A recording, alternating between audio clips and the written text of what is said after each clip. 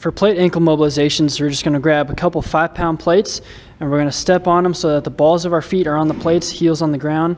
We want to keep those heels glued down and just simply break at the knees. Bring those knees as far forward as you can. So kind of be slow and deliberate here. Um, again, just trying to gain some more ankle dorsiflexion.